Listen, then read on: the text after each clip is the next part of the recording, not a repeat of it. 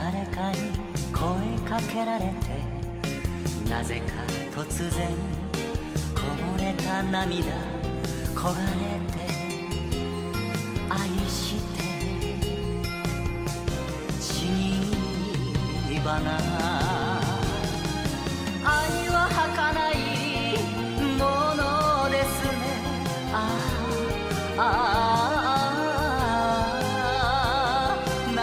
流して見切り花見切り花ぬ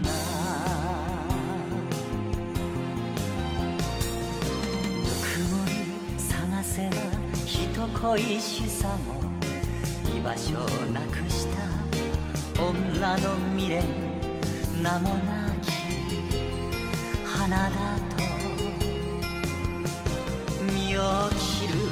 花よ。恋は苦しいものですね。ああああ涙流して見切り花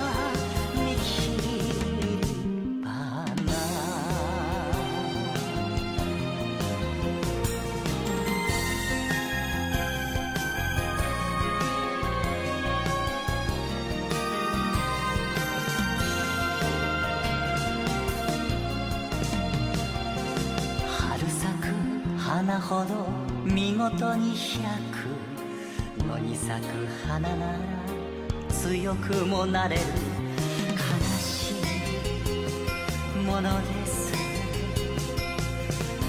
涙花？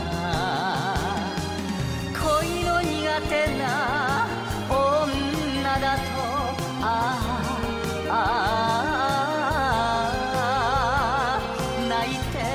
涙の見切り花見切り花。苦し紛れに散りそうにああああ泣いて涙の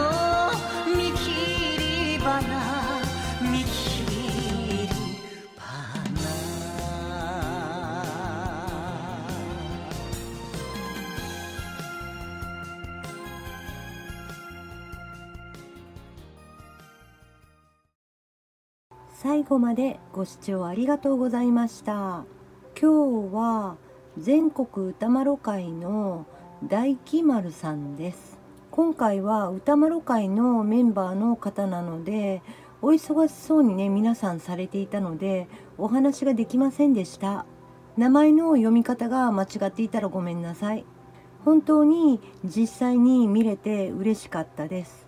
やはりレトロな装飾も取り入れられていて前の V のマーカーなどなどこれぞ歌丸会というアート社です。またイベントなどでお会いできたらトラックのことなんかもお話できたらいいかなと思っています。